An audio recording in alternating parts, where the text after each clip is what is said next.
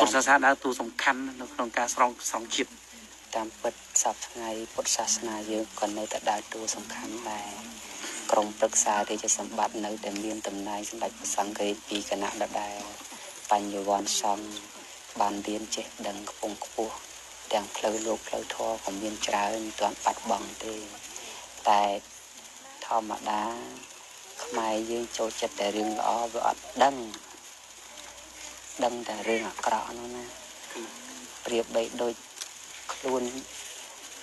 សួនឧសៀនមួយដែលសបោផ្កាដែរតែខ្វះខ្មុំសបោរុយណារុយតតែក្លិនណាស្អុយបានទៅរោមក្លិនណាក្អូប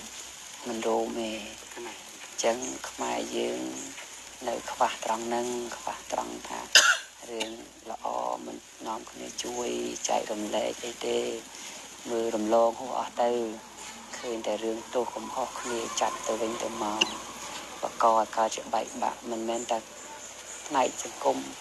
ពុទ្ធសាសនាទេផ្នែកសង្គមជាតិក៏ដោយបើខ្មែរយើងអត់គោរពរួមគ្នាទេអត់សាមគ្គីគ្នាទេអត់មានមនសិការៈជួយក្នុងបបហេតុជាតិមេត្តាភូមិពិតប្រកបទេចំណេញតែបែកបាក់គ្នានឹងឯងហើយកុំបន្ទោសរាជរដ្ឋាភិបាលកុំបន្ទោសថ្នាក់ដឹកនាំអី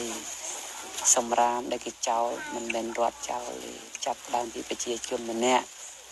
ចឹងបើខ្លួនយើងម្នាក់តាំងខ្លួនជាបុគ្គលល្អប្រឹងសិក្សារៀនសូត្រទាំងក្បួនខ្នាតផ្នែកពុទ្ធសាសនា ចំណេះវិជ្ជាផ្នែកវិទ្យាសាស្ត្រចំណេះជំនាញឲ្យច្បាស់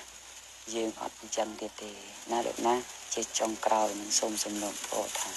ឲ្យខ្មែរទាំងអស់រួបរวมគ្នា កុំបែកបាក់គ្នាដោយរឿងបន្តិចបន្តួចនឹងនាំឲ្យបែកបាក់គ្នាជាពួកជាក្រុមខ្មែរយើងកំសត់ពេកយ៉ាងសូមឲ្យបានសានត្រានទៅវិញទៅដោយការរួបរวมគ្នានឹងលោកណាសាធុសាធុសាធុអឺគណៈសូមថ្លែងអរគុណព្រះអង្គដែលបានផ្ដល់កិច្ចសម្ភារខ្លីតាក់ទងការបកស្រាយជុំវិញខ្លះ